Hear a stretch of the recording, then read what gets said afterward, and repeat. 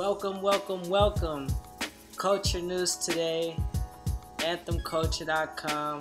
Shout out to all the culture heads. It's a lot of crazy, amazing, exciting, interesting things happening around the world in the culture world. So we're gonna take a look at some of those. It's a lot of things cool happening at AnthemCulture.com. You already know history being made every single day, so we're just trying to make the most of it. Um, so yeah, let's jump into the site, see what's new, see what's popping, and I'll keep you guys updated on everything else. An amazing Italian artist, his name is David Tribocco. He just released a collection of painting, a uh, collection of art entitled Conformi, the Conformi series.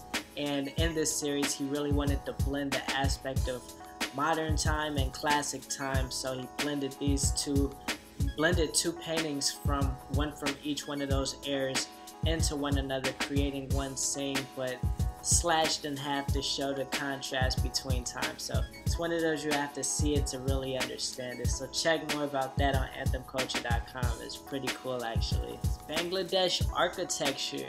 It's really cool once you get to know it and actually I'm sure you're gonna start to recognize it everywhere as you're going around once you really start to get into it. So currently at the Dhaka Art Summit happening out in Bangladesh right now.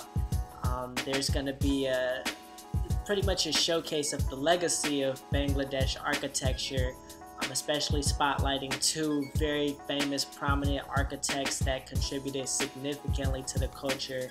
Their names are Manzurul Islam and Louis Kahn And it's really just a trace back of their legacy, different pieces that they've done around the country, and working up to like their great projects that they're really known for. So you can read more about that on anthemculture.com as well.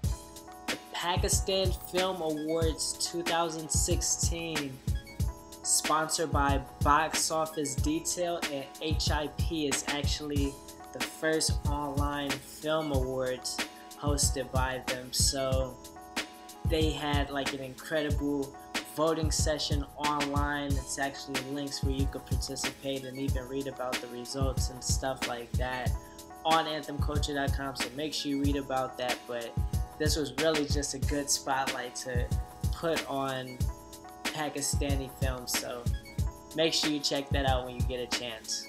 Also, in film news, the most expensive Iranian film, for those who don't know, Mohammed, the Messenger of God.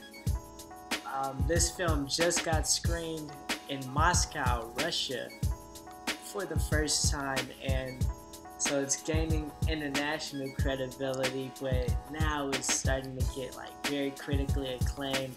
A lot of things came out about it and stuff like that. A lot of good reviews, a lot of reviews from critics in Russia. So got a whole new perspective on the film itself. So you could check more about that on anthemculture.com. The Qatar International Food Festival. If you're hungry, you should go there. It's a week long event. Just got to a week long event thanks to the prior success. So, in its seven year, it's a week long event, and it's really just an appreciation of culinary culture around the world uh, this year's theme is a different side of food, so you can read more about that event, and it's happening at the end of March, I believe. So get more specifics and information on that on anthemculture.com as well. It's more stories, more news, more culture, more culture, everything. You already know the clothing, uh, what we read online, it's all culture.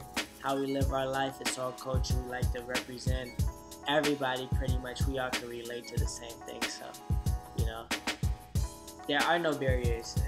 Make sure you subscribe to the channel. Make sure you subscribe to our newsletter. Make sure you subscribe to the lifestyle. Everything anthem culture. Uh, make sure you check us out anthemculture.com we're here broadcasting from anthem culture headquarters achq shout out to all the culture heads. Appreciate culture